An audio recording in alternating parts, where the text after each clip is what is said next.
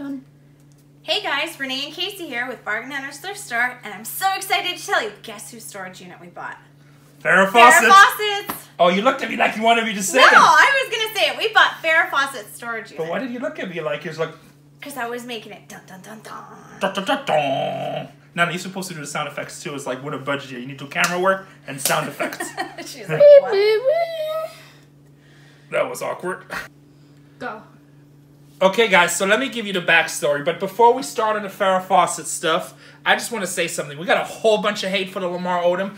Just for a few people say, oh, you should just give it back to the guy for free, and uh, you shouldn't have bought the storage unit.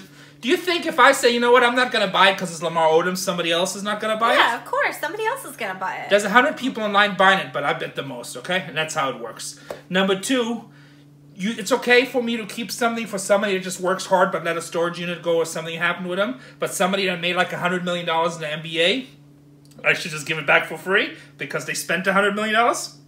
Again, common sense. You know, I got a few phone calls where people were like, uh, "We're talking all ghetto and making racist remarks, and they're gonna get me." Bring it. I carry a gun like 90% of the time, so it's like I ain't scared. Doesn't matter. I got Jesus in my heart. He's gonna protect me. And if you have to call me from a private number and talk some trash like that, not even face me. But you know what? We actually gave Lamar an opportunity to buy it back. Didn't work out. You know, it takes money. So most of the time we buy lockers, like if we buy single moms lockers or military lockers or lockers that are just any person's stuff, we give them the pictures back for free. We give them the personal belongings for free. Bless you. Excuse me. We don't give them back the collectibles because that's how we make our money. We don't give back stuff that is value. Now we always give an opportunity if they contact us to buy, uh, to give it back to. But you know we've done that many times, and ninety-five percent of the time, the people never come up with the money, and Or it it's just a huge headache. They're calling at like 2 in the morning. yeah. I was crazy. every time I tried to do a favor for somebody, I bought lockers back for people four times when they were in the audience, and every time it turned into a huge nightmare where I had to regulate. You know when I finally told the people that's it. You know, so it's.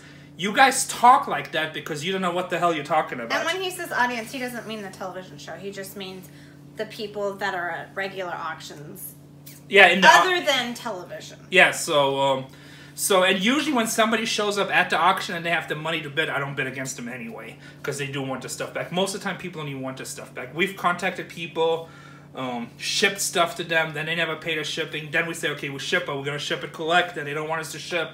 I mean, it's a lot of problems. People lose stuff for a reason usually. Most of the time, it's drug related. That's why we say don't do drugs. Yeah, so and sometimes divorces, sometimes people just don't care death insurance stuff like this. But and another thing, people always say, "Oh, you guys are scumbag because you buy storage units." Well, if I use my credit card, they charge me twenty five percent interest. That's scummy. If I don't pay the government on a bill, they charge me hundred percent interest. That's scummy. If I don't pay my car bill, they repossess it. That's scummy. If I don't pay my rent in my store or my house, they kick me in the street. That's scummy. When I go buy a steak at Chris Ruth, they charge me two hundred dollars for a piece of meat. I think it's called Ruth Chris. Ruth Chris is probably only hundred bucks, but they charge me hundred bucks for a piece of meat I can get at, at, Albertsons for like twenty bucks, and then Okay, they, we just had one the other night. It was really good. It was worth it. and we only do that like once a year, so don't think we're living the high life. And then they want me to tip 20% on top of it, okay? So that's like everything in life, they charge something. When I go see my doctor, it's like 300 bucks an hour. So if I've had a little ear surgery, that was like $5,000. I go see my lawyer, it's 350 bucks an hour. And even And it's $120 for him to email Rene to say, there's no no news. Yeah, so like everything is charged in life. If you guys think people don't charge you in life, you must be broke because everything you do in life, you charge. I send in my comics to get graded. It's a regular comic. For them to grade it, put a slap on there, and pressed, it's $180 for a good comic. That's what it is. And it gets higher. If if they're better comics, they get even higher. I think the cheapest pressing and slabbing is uh, probably 70 bucks, but Yeah, that comic is worth com- less than 200 Yeah, and if your comic's worth $10,000, they're going to charge you a percentage because they want. 1.5%. But it's worth it because it increases the value. But everything in life, they charge you, and we're here to make money. So that's just something I wanted to get off my chest. I was going to do a separate video. better? I always feel good, but it's like, you know, I really don't care what people say at the end of the day because it doesn't matter. But it's like, and most people actually were positive, but you always get these few idiots, and you can tell they don't have no money, have no uh, knowledge about life. Stuff costs. I send my daughter to a Christian private school, and the reason we do that, because, sorry, it, it agrees with our values. I sneeze. What's next? It agrees with our values. We like the curriculum. But you know what? They don't do it for free because I'm Christian. They don't say, hey, Rene, you know what, fellow Christian, don't worry about it. We'll do this for free for you. they say it's 1200 a month to you, Rene. And guess what? It goes up 5% every year. You know? So everything in life costs money. I get Netflix, costs money. I get HBO, costs money. I watch the NFL, costs money. Everything is money. There's nothing for free in life. Go to the Salvation Army soup kitchen, and guess what? That's still a corporation that people make money to Kitchen. Kitchen. So, speak. but anyway, Farrah Fawcett. We bought Farrah Fawcett's locket before all the haters start. This locket was in storage down here in San Diego for about um, six, seven years. Then, when Farrah Fawcett passed away, Wait one moment. It's not. Okay, so we took a quick break, so I'm gonna try to continue where we were. Um, so this was in storage for six years. When she passed away, they- she had three 10 by 20s or 10 by 30s. I don't exactly remember because I actually bought this two years ago. Um, when she passed away, her lawyers came in, the family. They, they took a whole bunch of wardrobe, they took the driver's license, they took paperwork, they took all kinds of movie memorabilia. I think the bathing suit might have even been in there. The famous one. put- I don't know if she sold it before or if it came after she passed away. I mean, Why get would you confused. sell her bathing suit? I don't even know. Because there's a really famous post that she did when she was young in a bathing suit, full- you know, full with the red. It's like one of the highest selling posters, if not the highest selling poster of all time. So all the lawyers and the family they came in and they took everything. Um, there was and it ended up being sold through Heritage Auction. You can actually Google that; you'll see some of her auction results. Then they just dumped it on the storage unit. and Said, "Hey, we're not paying anymore. You guys clean it up." Which is always what they do. So again, the storage facility did them a favor because that lawyer's involved. There's a lot of money owned in the units. They let them in. They took all the good stuff and they left three units worth of trash in there. Now, at the time, we didn't notice this whole episode we actually filmed for Storage Wars. There's a Storage Wars episode out there, which is the Farrah Fawcett special. Yeah. With can I say? No, don't say what who's in it because we don't want to give too much away in case they do want to air it, and also I don't know how they want to edit it out. But we had the buyers of it. Uh, there's some other stuff involved where they didn't they didn't want to do. And there's a special guest on there. We'll just leave it at that. Yeah, so there's a special guest on it, but we don't know if that's eventually going to go through. Now, I tell you guys all the time, know where you buy. And when we put the thing together, I didn't realize this whole thing was located at a facility where I normally don't go to because the manager is not on the up and up. Uh, you know, many times I've seen him cancel auctions when the bids weren't high enough, or you know, it's just really hard to work with. If he doesn't think you pay enough, he gives you six hours to clean out. There's been, Really? yeah, it's been rumors that he went through units and stuff like this. So I, I usually just don't go there, and I didn't realize at the time that was the facility. Um, when we heard about this, you know, the auctioneer called me. He's like, "Hey, Rene, just so you know, Farrah Fawcett's units, three huge units. According to the manager, they're packed with boxes and packed with stuff." It wasn't packed. Yeah, it, it wasn't. So we call, of course, we call out people over at Original Productions, uh, Bumgarner, Ernie Avila. Uh, I think at the time Jeff Fry might have been there. Roman was involved. There's a bunch of people involved over at Original Productions. But they said right away, hey, yeah, we want to do an episode. Let's do this. Let's do a special on it. And Amy was excited about it too. When we got there, all three units were left over. They were gone through. They took stuff out. Yeah, it was a definitely. Well, it, it wasn't what we wanted. It wasn't this mega explosion unit, Yeah, but we still found some stuff. So we actually pulled out a lot of furniture where she had FF as carved in all her furniture for Farrah Fawcett. We had chandeliers. We had a really cool butcher block that somebody bought. We Butcher had block? a butcher block. Yeah, and we had a lot of clothes from her kids. Uh, that was all inscribed, monogrammed, right? Oh yeah. And then um, we also found two boxes left of wardrobe, some movie one ward- wardrobe, um, which is probably gonna go to Goldin Auction. So that's why we do this video, kind of last minute rush because they come in tomorrow to pick up all the Lamar Odom stuff. But um, the episode there just wasn't enough bang in there, and at a time when we're in between seasons with Storage Wars is a long rest. And they just decided not to do the episode. Now that doesn't mean that one day a special DVD set you'll see like a special Storage Wars Farrah Fawcett unit. Um, as of right now, no, but doesn't mean it, it'll never air. But it, it's really cool. It's it's awesome. I still try to get him to do it um, because I think it's pretty cool. So a lot of the stuff we had was average stuff. I still have a few things from her put aside. I don't know where I have it right now, but to me, I, I have just so much stuff. You know, I mean, I'm still working on. Famous last words. I, I haven't even done five percent from the hoarder house with the comic book locker. So You and it's even been done like six five months. percent of the hoarder house from a year and a half ago, the Indian store. Yeah, no, we did more than five. We did like thirty percent of that. But you know what? That's the business. You constantly buy, and then you keep on turning. You always have merchandise. So we're gonna show you some of the stuff we got out of it. Um, couple movie one pieces right away that we know, and uh, it's kind of cool. So it's Farrah Fawcett stuff, but like That's I said, exciting. the, Dolores went through, and then um, there was so much big furniture, and I'm actually gonna. This is the first time I dumped units. I, I never dumped units on managers or anything like this, but because that place was already crooked and. Um, So monkey see, monkey do. they totally hyped it up and then we we at first you could see it was gone through but we didn't we didn't know at the time for sure. So we overpaid like we paid for two units like $3500 and they looked really rough. They weren't $3500 units.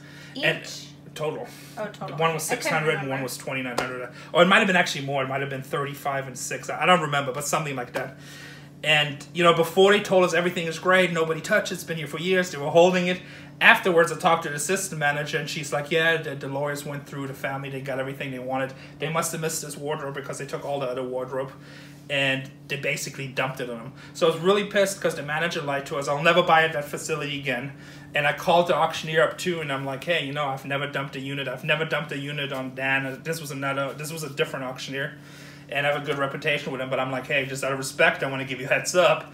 There's like these huge kitchen things, you know, it would have probably cost me thousand dollars just to clean it out. They put it all the way in the back, and it kind of hit it. And I didn't even think that came from her house. It could be, maybe, I don't know.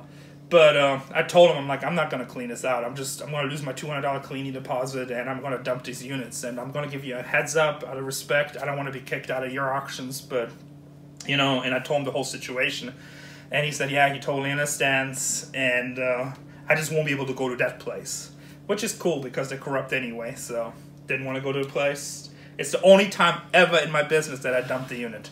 I'll probably never do that again because even though I was kind of totally screwed on that, I felt shitty about dumping it. So, but we had enough stuff to get our money back, and we got this wardrobe for free. It's gonna go to Goldin Auctions. I don't know if it will bring five hundred dollars or ten thousand dollars. Farrah Fawcett, obviously, huge movie star. So Yeah. let's see. I let's see some stuff. Okay. Yeah. I've Uh, never heard of them. Farrah Fawcett. She was. Before your time. I mean, where was she? Sixties, seventies, eighties. I don't know know. if she was that old. A lot of drug problems. Again, another person don't do drugs, you know, but she passed away from a sickness. So right here, this is a code, and it has written on the inside, "See you in the morning." I really look for pictures.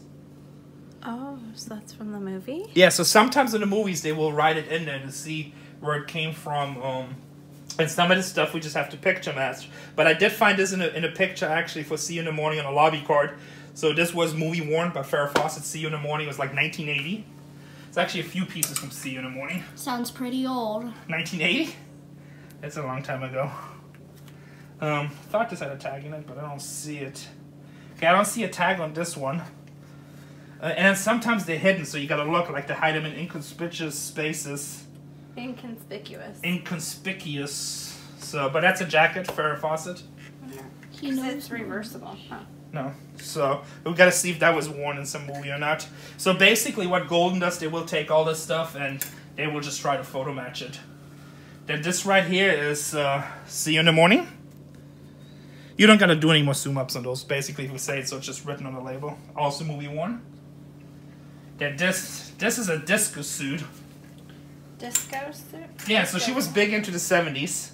This is like a onesie, and then you button it up. I think so. It's a skirt. It's And- a jacket. It's a jacket? I think it's a suit. Oh, you know, I'm thinking of the next piece, maybe. I don't know. This is like a one It's a jacket. It's a jacket? It's a jacket, honey. But it's totally groovy, 70, made by Krizia in Italy. It's really badass. now, if you guys see Leather. of these pieces and you're Farrah Fawcett fans, and you know this was worn in a movie, I would love you if you guys leave us a message, give us some feedback, become part of Team Bargain Hunters, be like, hey, Rene, check this movie. It looks like she wore this. Because actually, I had a big cardboard where everything was written down on the outside of the boxes, and I don't know where to put that either right now in this last minute. So, yeah, not the most organized. But we actually saved this stuff for two years because we didn't want to release it until the storage was special. But it just doesn't look like it's going to happen now. This one's cool. Yeah, this is cool too. It doesn't have anything written on, but some kind of fur. I would wear it. You would wear? Yep. Yeah, I'd wear it too. It's pretty cool. Well, I'm gonna be honest. I wouldn't wear it. Take us to Las Vegas, Yeah. baby. That would be kind of awkward like if you wore it. Here's another jacket. Doctor suit. no, this is leather, scientist. and same thing. It's a Krizia made in Italy. Super soft. Yeah, it's nothing written on. So, You know, stylish. I would some- think like a doctor or a scientist would wear that. Leather. It's lettuce. That was the style in the 80s, man. So this is just Pendleton jacket. In the back, it has some kind of something native bird. I don't know. So this is just some of our wardrobe stuff. And this is uh, A also judge. Italy. Oh, never mind. You putting like stuff on everything? I think I remember her being photographed from the paparazzi wearing something like this with jeans and a white shirt. You know, that kind of looks like the little uh, coat that I had to wear in uh, Biztown. Because I was the judge. Yeah, it's different. That's just a little That's the judge. a nightgown. Here is this is a matching pair. It's also Krizia's made in Italy. I think Snow White would wear that. It actually has tags on it. Made in Italy. It's a nightgown. It's a nightgown? Okay. It's really pretty. Snow White would wear it probably. Now, we actually bought a lot of celebrity lockers. I probably bought fi at least five celebrity lockers I can think of top of my head. So this stuff happens more often. Maybe I'll share some stories. There's just a rope. Look at that. Another dress. Glorious. Wow. But what's cool about this, all these pieces were worn by Farrah Fawcett. And if you look at, you know, clothes that are worn by celebrities, they go pretty high. You know, Marilyn Monroe, which is probably the same level, different decades. Uh, Marilyn Monroe might be a little bit bigger, but I guess it's when you grew up. And then the movie worn pieces are good. This jacket right here is awesome. Oh, that's cool. I'd wear Diamonds. Rhinestones. Yeah, And there's like tags in here, but I can't read it anymore. Oh, So- it's written on. It's Hold all it, custom hold it. made, I think. I think those are sizes made in Italy, or made in France. Oh. Mommy, do you think Aunt Lisa would wear that? maybe. That's cool. I mean, in the 80s, that was a super stylish jacket. That's pretty. What is this? Blind suit made in France. This, what kind of material is this? Polyester? Expensive. Expensive? I don't know. uh, no, polyester is that woolly stuff, right? Polyester's Woolies. like you get at Walmart. That would be something that like graduation people would wear. This is just, yeah, this is nothing. Now, this one is right here. Is, it says on the inside, and maybe we gotta see, maybe there's some more, open up some buttons. Female it says detective. Mar- Margaret Bourke White, and then Russia. Russia. So I don't know if that's from a movie, or if it's some kind of designer. I don't know. Like Farrah Fawcett's been in hundreds of movies, so I don't know. It's probably from a movie because why would somebody write on it? usually handwritten. Yeah, because it's handwritten. So I have to Google this. Ma- Margaret Bourke White Russia. Huh. Oh, made us the movie Mar- Margaret Bourke and then White Russia. Who's Margaret Bourke? Is she an actor? I don't know. Maybe this is from somebody else. It's not.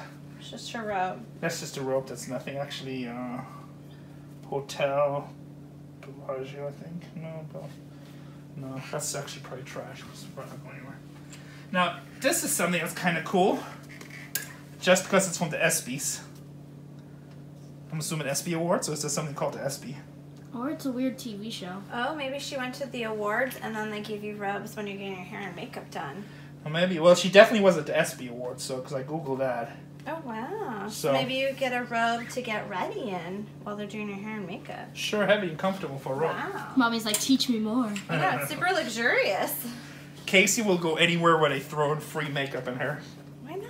We were in Mexico City and I put up some videos and we had all custom makeup people and stuff. She was in heaven. I never Heaven. had anything like that. I'll do your makeup. Oh no. Yeah. Thank you, Tatiana. So there's a coat. This doesn't really say anything. And a couple of her leather coats I think are brand new. Yeah, there's another coat There's a bunch of stuff written in. So this is Joy. It's just brand new. I think it's just a brand new coat. It's nice. Talia. Is anything written? Nothing I can see. Italian. Suede. See, that looks like that can't be regular stuff. That looks like almost like a movie thing, right? Yeah, Yeah. it does. Something, it's like it looks like all ca- hand sewn. sewn. Yeah, because look at how this is. It's like sock, uh, sackcloth. Is that how you say it? Yeah, it's weird. That's something like I would see like in um like a doomsday movie or some survivor movie. Yeah, that's interesting. So yeah, we'll just have to do more research. But Goldin Auctions has like a whole team and kind of comes part of the deal, so they'll Oh, research it's it. cool. Check it out. Bummer. Best. Charlie Chevignon. Old flight jacket. That's just a reissue though. Turn it around. Kind of cool. Yeah. So the next one has something weird written into it. Okay, let's save that for last, because Okay. then this is just regular. The Fairmont Banff Springs Invitational. It looks beautiful. Oh, yeah, that's actually more interesting because what does this say? Gant USA. What's Gant? Fairmont. This is some kind of shirt. Gant, I don't know. It says stuff on the back. Oh no, USA 1949. I don't know. It's probably some kind of golf tournament or something. And last but not least, So this says compliments of L and D, which who knows what that is. then there's a whole bunch of other stuff written. So that might be a production. 11 4 99 through 12 19 of 99. That looks like something that Indiana Jones would wear. baby. Baby number 61. Yeah, Sally number four. So if you guys know what this means, baby number 61, Sally number four. What does that say? Stewart or Surratt?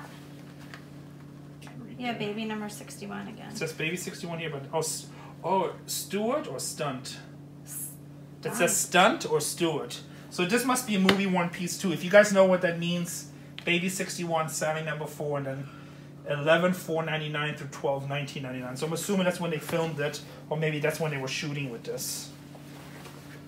So Or its characters. Like there's more than one Sally. Like if it's like a twin thingy, I guess. uh, it could be. Uh,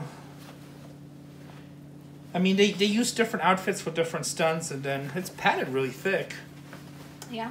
For it doesn't seem like a regular jacket padding. Yeah, I don't it's know. definitely not a regular jacket padding. Women's jackets aren't like that. So I have to Google some of that stuff, but that's the stuff we got out of Farrah Fawcett. So like I said, you know, that locker we spent like I'm gonna say around four thousand dollars plus work, plus time, plus storage, and you know we're still stuck on it, but that's fine. So the best part is when we had all the furniture in the store, is people would look at it and they're like, "Ah, I'm kind of interested, and he'd say, it's Farrah Fawcett's, and then they would like take another look and they'd be like, wow, it looks good. It was such a great selling point. People would be like, I'll take it. Yeah. that was Farrah Fawcett's table. That was Farrah Fawcett's couch. Yeah, so there was some cool stuff out of there, and you know, then I'm gonna say something else for people, like because people always say, oh, you should just give it back to the person. You know, actually, one time on the swap meet, I'll tell you guys another quick story. I had this lady come to the swap and she was like, "You got family pictures from the people."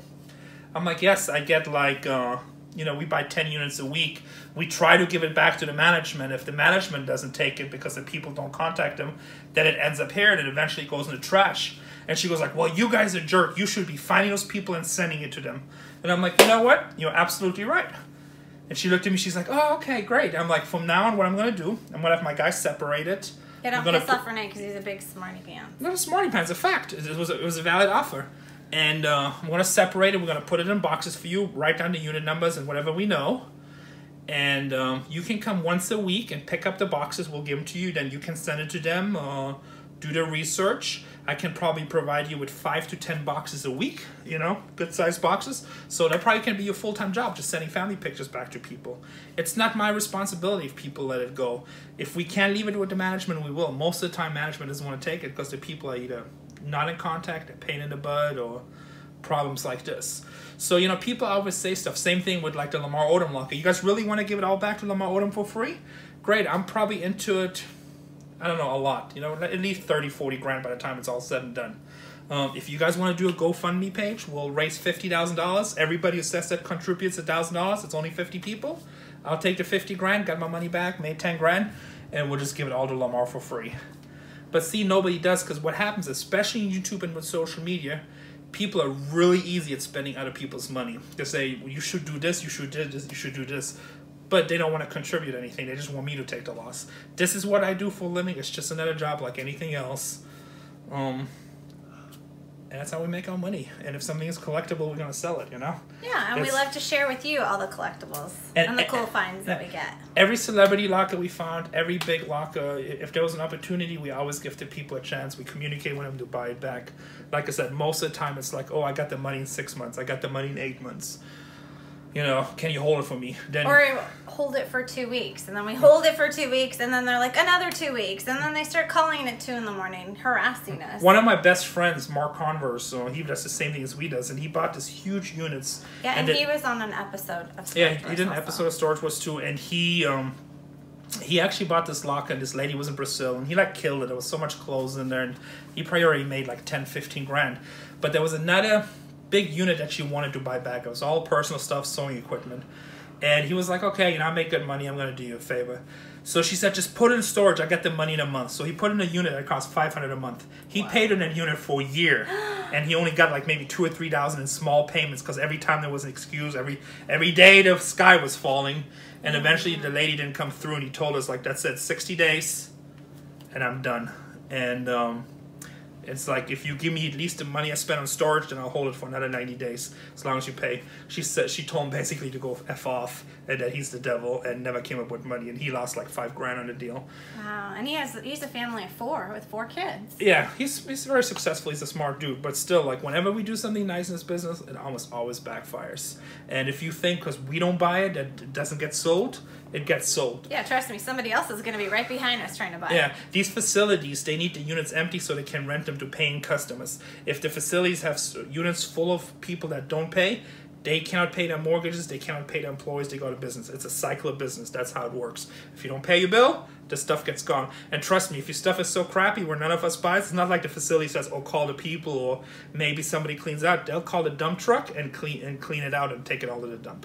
So you know, that's how life works. I'm sorry, guys. That's just how it is. I'm just a small fish living in a big system, I guess.